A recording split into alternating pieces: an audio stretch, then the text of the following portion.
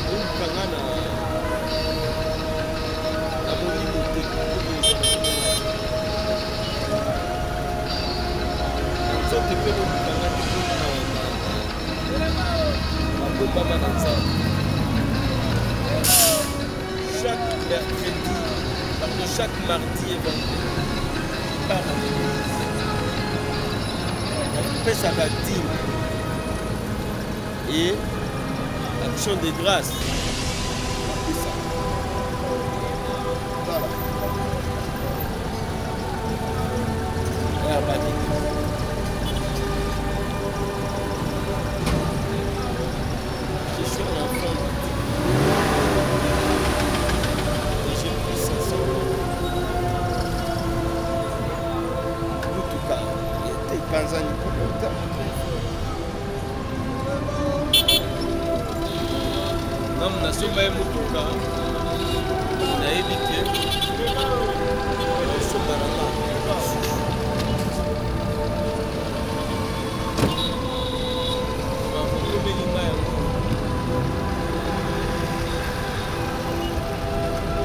heureusement que je partais à l'église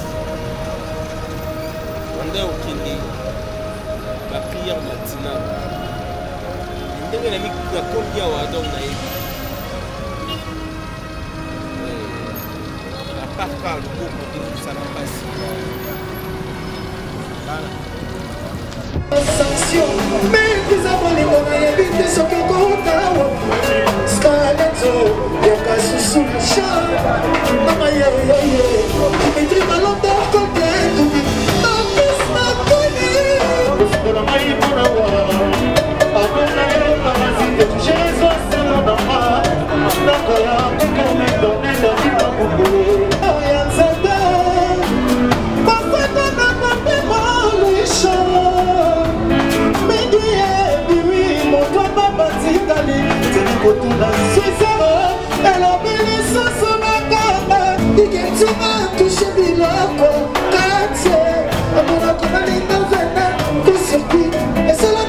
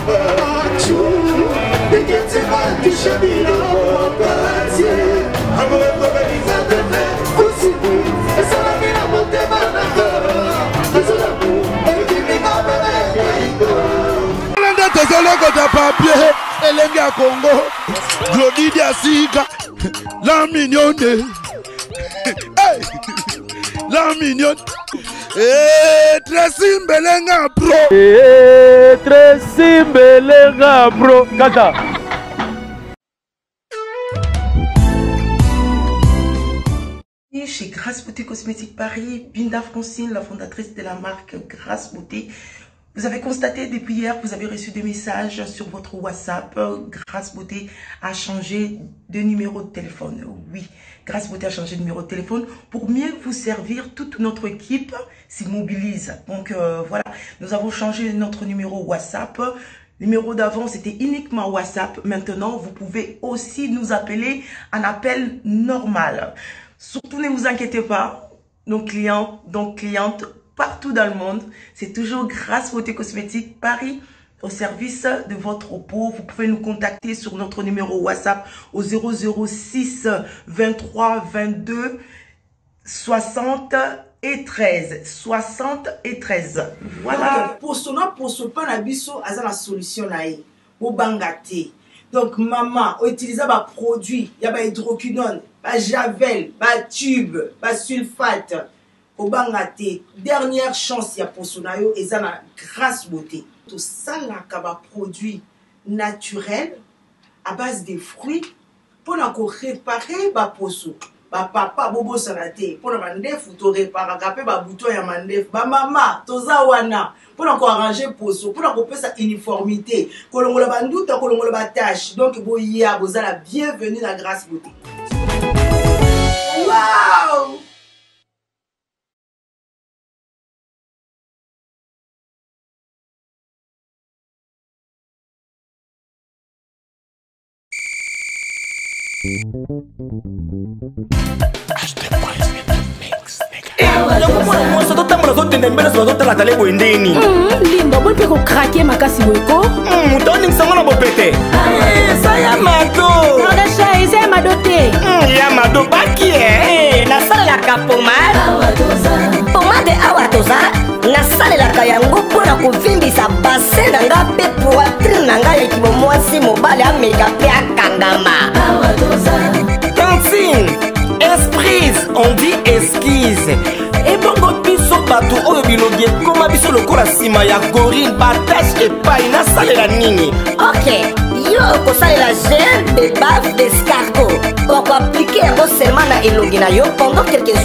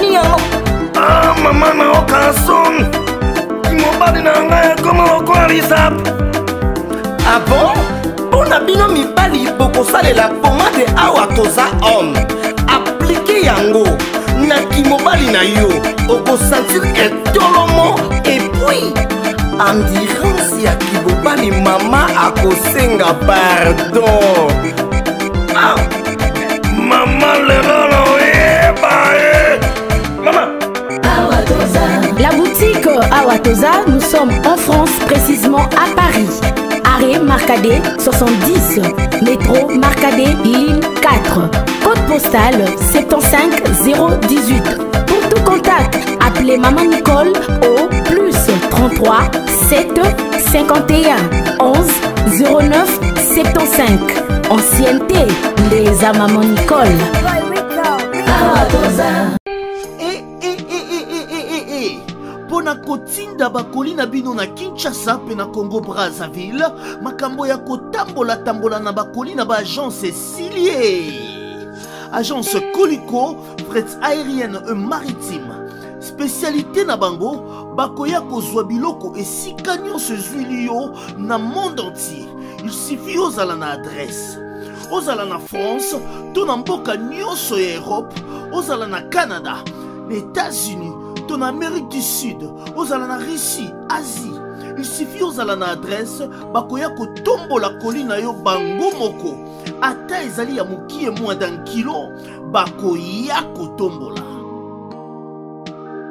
mpo na baye banso bazali na union européenne fret aérien ezali na 9,50 le kilo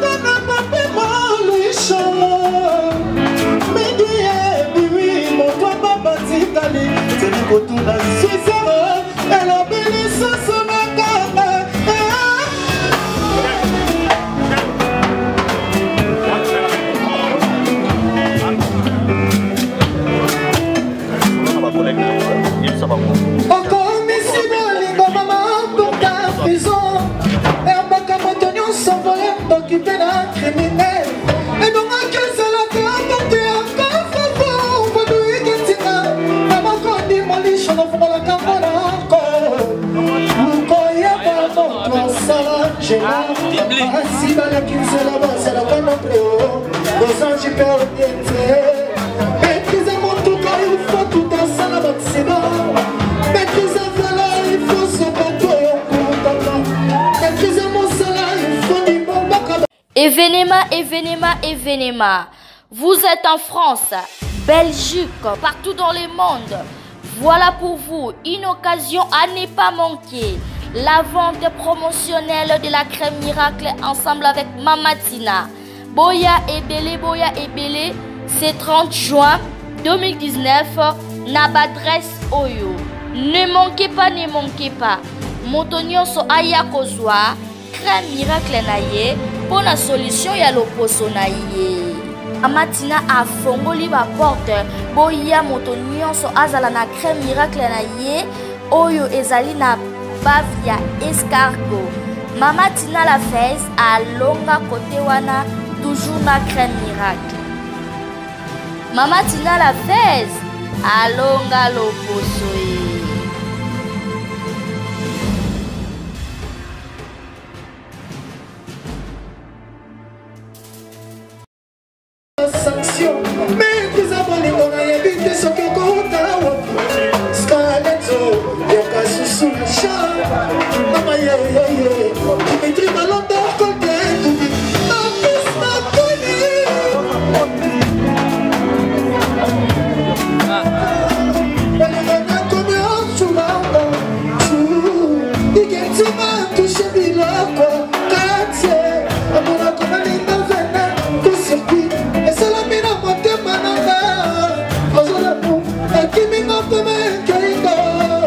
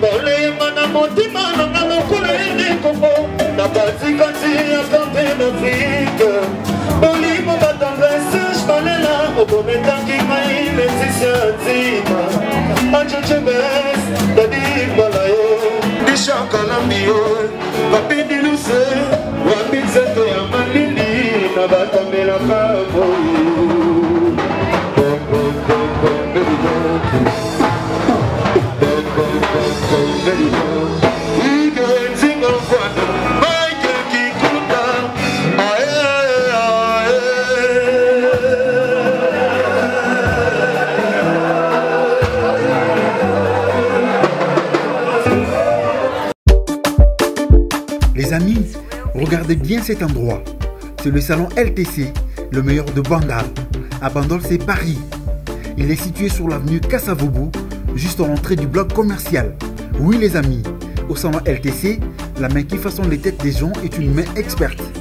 On s'y fait coiffer à tous les styles, l'afro comme l'européen. Et oui, ce coiffeur talentueux qui officie au salon LTC, c'est Fernando Mbaya. La garantie du traitement de vos cheveux. En plus, Fernando Mbaya est un expert en coiffure mixte. Chez lui, c'est le grand art, la coiffure haut de gamme.